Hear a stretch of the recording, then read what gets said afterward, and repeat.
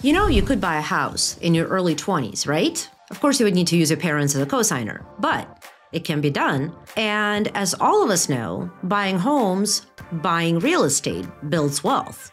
So the earlier you start, the earlier you can get on that path of building wealth for yourself and your family. To find out how, listen on and welcome to another edition of the Ask Ella Show.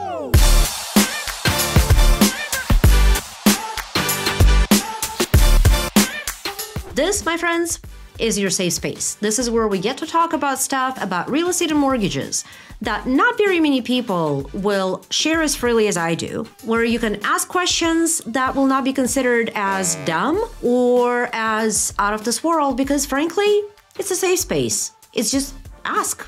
You don't know what you don't know, and that's what I'm here for, is to answer the questions you don't know the answers to. So let's roll and let's talk about buying a home in your early 20s. And yes, it can be done by having your parents help co sign for you.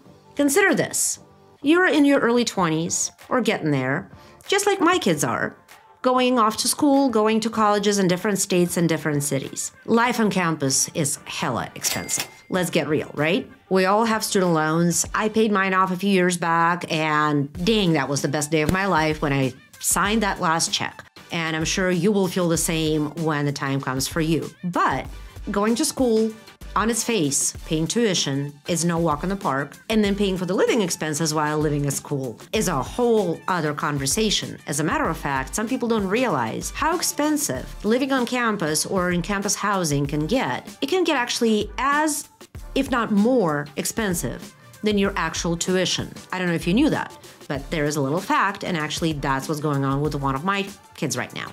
A better way to go than paying the housing on top of tuition would be for you, my friends, to start looking for a home that, frankly, you could just share rent rooms to your friends, just like you would in a college housing apartment or housing that belongs to the university or college. Of course, you may not have the full income to be actually able to qualify for the mortgage. If your parents are in a position to co-sign for you, that becomes the best thing of all worlds.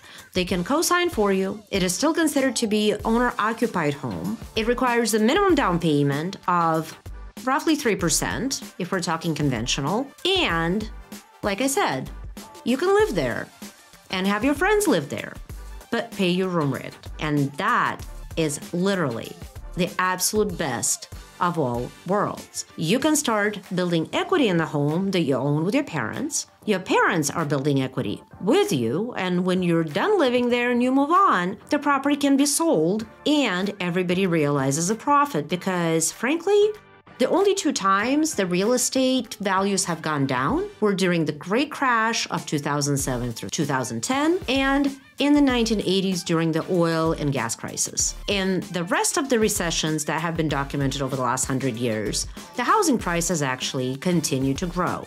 So, housing bubble, housing schmubble. Frankly, I'm not of that mind and hope you're not either. So, after living in something like that for two, three, four years, depending how long it takes you to get through schooling, you could actually walk away with a chunk of change and use that for the down payment on your next home, where you may not need your family to co sign for you anymore because you should have graduated and you should have a profession and therefore a job.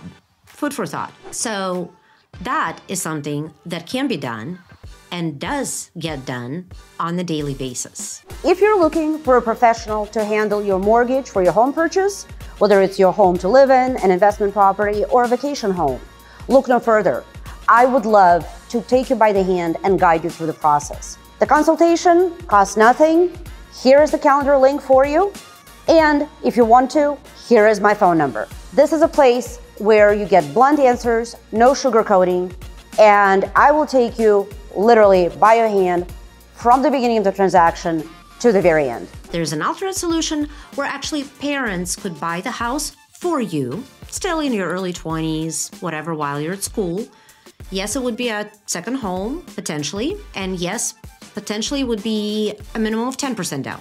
But it's another option for all parties to win win to avoid paying the crazy high housing expenses while away at college. So, again, think about that, share it with your family, share it with your parents, and we can always talk in more detail if you'd like in private without fleshing it out in front of the whole world. Comment below, tell me what you think, and I will see you on the next one. In the meantime, remember this Ask Ella show is your safe space. Ask your questions, and I will give you my answers absolutely bluntly with no frills. And we'll see you in the next one.